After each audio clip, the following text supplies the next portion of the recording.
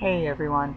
I had promised an updated review of Insanity the Asylum once I had an opportunity to actually go through and try each of the workouts. Um, I had given it in my last review kind of like a so-so review and I think that's really common that um, we get very comfortable with what we're doing and um, it gets easier for us.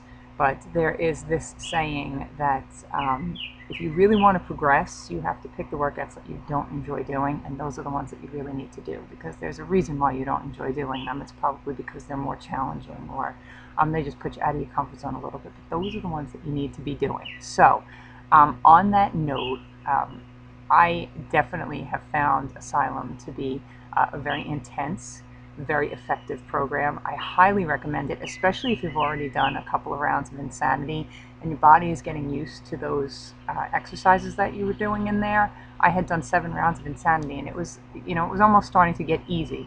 At, that's the point when you really need to step it up and this program is definitely going to do that.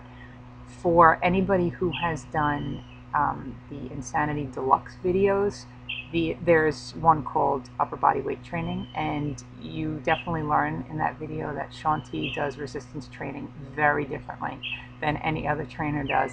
Get your heart rate up, you get some cardio in there. It's an amazing workout. So in Asylum, he stepped that up a notch with a program called Strength. Um, probably my favorite workout out of the entire series. Um, really, really, really incredible resistance training. There's also um, um back to core.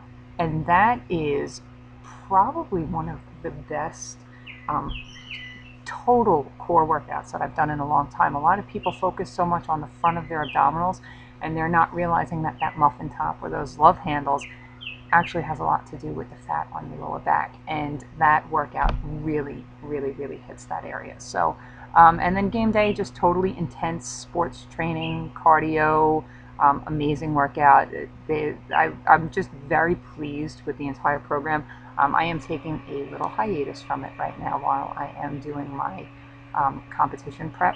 But as soon as I'm done, I am definitely looking forward to getting back to it. So um, if you're looking for something new, something challenging, definitely give it a shot. You can always get it from my website, www.hardcoremama.com and it is a glorious day today on Long Island. I'm going to enjoy it. I hope you do the same. Have a great day.